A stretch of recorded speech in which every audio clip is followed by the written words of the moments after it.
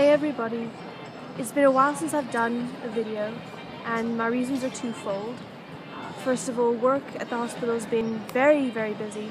Um, really enjoying it, but um, but no, it's been it's been quite busy. I've learned so much in such a short amount of time, um, and uh, the project's going really well so far. And uh, second reason being, I can never quite find uh, an opportune spot to film one of these video blogs because, um, well, you can never find quite a private spot because people hear you, so they think, talking to yourself, and um, for some unfathomable reason, they draw pretty bizarre conclusions about your sanity or lack thereof. no, I'm not, uh, and by no stretch of the imagination am I in a private spot right now. In fact, um, I'm out in the middle of the city. I'm in Federation Square, uh, which is a um, sort of a hub of activity here in the city, right across from Flinders Street Station. Um, in fact, it's kind of a good thing I'm filming this here because it's something I want to show you guys. So here in Melbourne, obviously it's it's um, winter here in Australia, um, and uh, and here in Melbourne they have uh, something sort of sort of akin to the national Christmas tree, you know, in DC. Um, it's not an actual tree, but it's here. I'm going to try and get it into the shot. That's it. And basically, it's this electrically wired false tree with um, sound sensors on it. And every evening, I think uh, throughout the month of June, uh, they have choirs who come and sing, as they put it, sing up the tree. And the sound sensors pick up the music. Um, and the tree, uh, as a result, flashes different colors. So I've not been for that yet, but I'm hoping to go. It's I think June 30th. It goes to the end of June, so um, hoping to go at least once and see that this uh, whole tree will flash uh, different beautiful rainbow colors. So um, so that that should be that should be quite a sight to see, and I'll take photographs. Uh, speaking of photographs, I've actually been doing quite a lot. Just haven't bothered to post any of it on Facebook. Excuse me, on Facebook. Um, I've been to St. Patrick's Cathedral. Um, was really, really beautiful, actually. Uh, I went one day after lunch, and um, and just lucked out actually on the time of day that I went because St. Patrick's, one half of St. Patrick's, is done all in um, stained glass windows, and the other side um, is done all in yellow windows. And I went at the time of day when the, the sunlight was shining directly through the yellow windows, and um, and uh, brownie points to whoever designed that, that building because um, when the when the sunlight comes directly through, through the yellow windows, the whole place takes on a golden hue, um, and uh, and you almost feel like you're you're standing in uh, in a sort of ethereal ethereal place. You know, everything everything um, becomes sort of becomes golden. And so I got some really good photographs out of that, um, which I will post tonight. I promise. Um, where else have I been? I've been to the Victorian Art Museum, which is uh, just down the road from here, actually. Uh, I went last weekend, and um, a lot of um, I, I really enjoyed the actually the 19th century um, European art exhibits. There was a Monet exhibit, but I'm not a I'm not a uh, huge fan of impressionism, so I, I skipped over that, um, and um, and looked at the the 19th century European exhibit instead, and that was great. I had photographs from that as well. Um, in fact, actually, as we speak, I just came out of the the ACMI, um, which is the Australian Centre for the Moving Image. It's actually here across the square. I'll show you. Um, can I get it in? There it is, where the where the red um, where the red plaque is over there. So basically, they had a um, Hollywood costume exhibit. Uh, I just came out of it. It was really magnificent. Uh, they had so many costumes from different films throughout um, cinema, cin- cinematic history. Um, some of my favorites. They had um, they had the costumes from uh, the Iron Lady, which was a fairly recent movie. They had um, one of uh, Dorothy's gingham dresses from The Wizard of Oz, which is one of my favorites. Um, they had Eliza Doolittle's and Henry Higgins' costumes from My Fair Lady. It's another one of my favorites. And um, and no, it was it was really brilliant. There was quite a range of things in there. Uh, unfortunately, we weren't allowed to take pictures, um, so I can't personally share any of it with you. But uh, but no, it was absolutely brilliant and definitely worth seeing.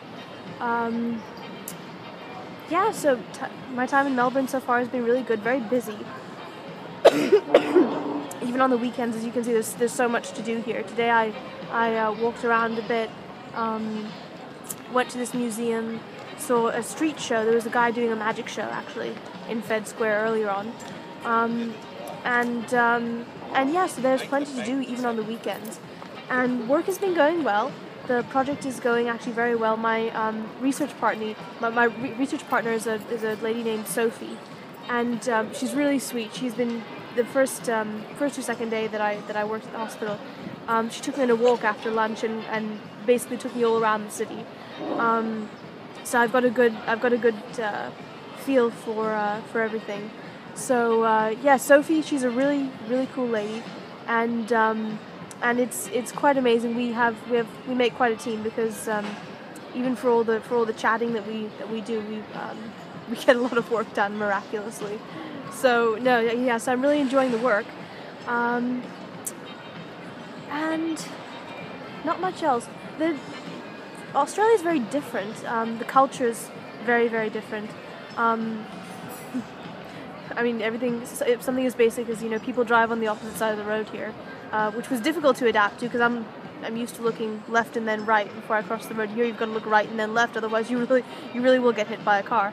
Um, so I uh, that's something I learned pretty quickly, and um, people talk very differently here.